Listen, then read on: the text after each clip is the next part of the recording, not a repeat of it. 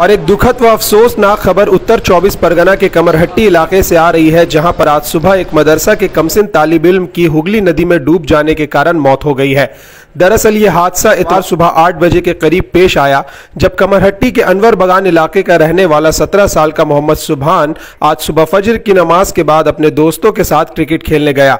फिर उसके बाद उसे क्या सूझी कि वो हुगली नदी में नहाने के लिए उतर गया? और इसके साथ इसका एक साथी भी था थोड़ी ही देर में दोनों की चीखने की आवाज़ आने लगी तो एक व्यक्ति ने छलांग लगाकर जान बचाने की कोशिश की। मोहम्मद सुबहान के साथी को तो इस व्यक्ति ने किसी तरह खींच कर बाहर निकाल लिया, मगर सुबहान को वो नहीं बचा पाए। आखिरकार गोताखोरों की मदद ली गई और कई घंटों की मुशक्कत के बाद सुबहान की लाश को उद्धार किया गया। मोहम्मद सुबहान कमरहट्टी हाई स्कूल के क्लास 11 का स्टूडेंट था और साथ ही वो कमरहट्टी के अनवर बगान इलाके में स्थित एक मदरसे का छात्र भी था। वो 21 पारे का हिफ्स कर चुका था वहीं इस अफसोसनाक घटना से पूरे कमरहट्टी खास तौर पर अनवर बगान इलाके में शोक का मातम फैल गया है। मैं अभी अनवर बगान की सरजमीन पर खड़ा हूँ। नाजरीन, मैं आपको बता दूँ कि एक बहुत ही दुखद भरी एक हादसा हुआ है 11 नंबर अनवर बगान में। यहाँ एक मासूम बच्चा जिसका नाम मोहम्मद सुबहान है, उस, उनके वालिद भी हमारे सामने बैठे हुए हैं।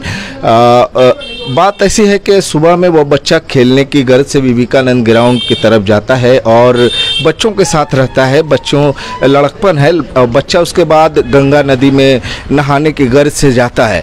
लेकिन बदकिस्मती कहिए कि गंगा नदी में नहाते वक्त आ, किसी तरह का एक हादसा पेश आता है और बच्चे बच्चा डूब जाता है उसकी मौत भी हो जाती है। आइए हम उन उनके गार्जियन उनके वालिद मोहम्मद जलालुद्दीन साहब से सुनते हैं कि आ, क्या हुआ है। जलालुद्दीन साहब थोड़ी सी बताएँ क्या बात यह है कि फजर के नमाज़ पढ़ा है उसके बाद मदरसे का छुट्टी कल हो गया था। छुट्टी हो जाने के बाद बच्चे आज़ाद हो जाते हैं, अपने अपने घर जाते हैं, कोई बच्चा है तो यहीं का कोई अनवर बगान मदरसा भी है, अनवर बगान का रहने वाला है। तो बच्चों के साथ क्रिकेट खेल रहा था हमारे नई कब्रस्तान में। उसके बाद साढ़े सात बजे वो गंगा की तरफ़ रवाना हो गया है। अब रवाना होने के बाद अब वो उधर जा कर के और वो दरिया में नहाने के घर से उतरा है और पानी था नहीं लगा, वो तैरने नहीं जानता था। बस वो डूबने लगा है उसके साथ ही एक बचाने के लिए कूद पड़ा है। अब वो भी बचाने में वो भी डूबने लगा है तब तीसरा आदमी छलान लगा करके पकड़ा है दोनों को। मगर एक का हाथ छूट गया है और एक का पकड़ा गया है। जो पकड़ा गया उसको टान लिया है और जिसका नहीं पकड़ा गया वो छूट गया और डूब गया। यही हुआ है। उसके बाद की उम्र क्या थी इस सत्रह अठारह के दर अठारह बरस है। अठारह चल रहा है। तो पढ़ाई के बारे में पढ़ाई के बारे में वो ग्यारह क्लास कमेटी हाई स्कूल में एडमिट था और यहाँ इक्कीस पारा का हाफिज भी हो गया था। यही उसका ये है। और तालीम में बहुत ही आगे तेज था। पढ़ने में बहुत तेज था लड़का। मगर अब यह हादसा हो गया है।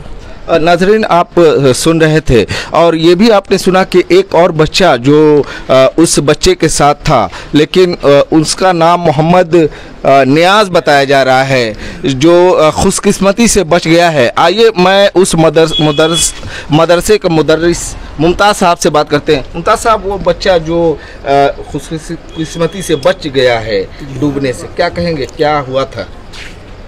उसे कुछ नहीं हुआ यहाँ तो वहाँ से हमें बताएँ कि बच्चे की नस्बत कहाँ से है क्या क्या नाम है उसका वालदेन की क्या नाम है? उसका नाम मोहम्मद नियाज है उनके वालिद का नाम जो है मोहम्मद मोइनुद्दीन है और वो मधुबनी बिहार से ताल्लुक़ रखता है यहाँ तालीम के गर्ज से मदरसे में आया है। क्या हुआ था? सुबह में फजर की नमाज़ के बाद बच्चे जैसे खेलने आमतौर से उनको त्यौहार की तैयारी के लिए मतलब जो से छुट्टी दे दी गई थी कि बच्चे त्यौहार की तैयारी करेंगे और वो त्यौहार की तैयारी की छुट्टी हुई तो फिर उन लोग बच्चे सुबह की नमाज़ के बाद खेल रहे थे। खेलने के बाद फिर उधर से आए मदरसे में उसके बाद फिर उस तरफ़ निकल गए। अभी बच्चे की हालत क्या है? बच्चा अभी बेहतर है डॉक्टर भी बोला है कि इसे कुछ नहीं हुआ है ये बस डर गया है सिर्फ़।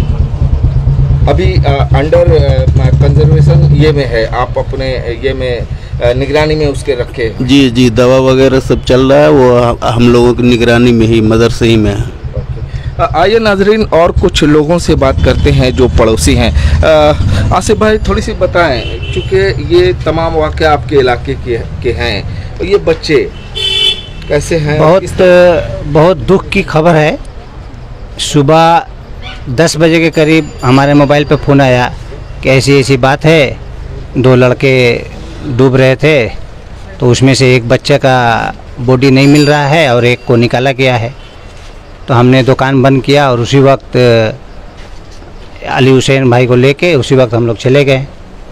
वहाँ जाने के बाद देखे कि पूरा अफरा तफरी का माहौल है, पूरे इलाके के लोग पहुँच गए हुए पुलिस भी थी वाक़ मौजूद पे। तो उसको बुलाया गया, दो कुम्मी, दो तीन आदमी को उसको बोला गया कि आप लोग उतरिए, बच्चे को ढूंढिए। तो मुश्किल से सौ मीटर के करीब ही वो मिल गए। थोड़ी देर में आधा घंटा ढूँढने के बाद वो बॉडी मिल गया।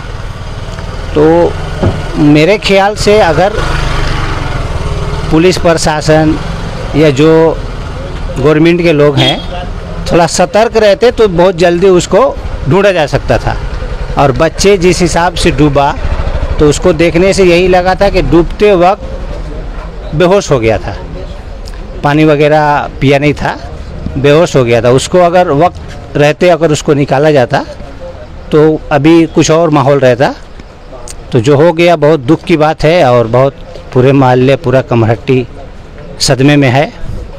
बेचारा बहुत होनहार बच्चा था। Eleven class Kamarhati high school में पढ़ता था और इक्कीस पारा का हाफिज कुरान भी है। तो इसके साथ पूरे इलाके मतलब गमगीन हैं और दुख में हैं। हम लोग उनके घर वालों के साथ, उनके अहल अहल के साथ हम लोग शामिल हैं। जितने भी दुख में हम लोग हैं, पूरे मोहल्ले के लोग शामिल हैं।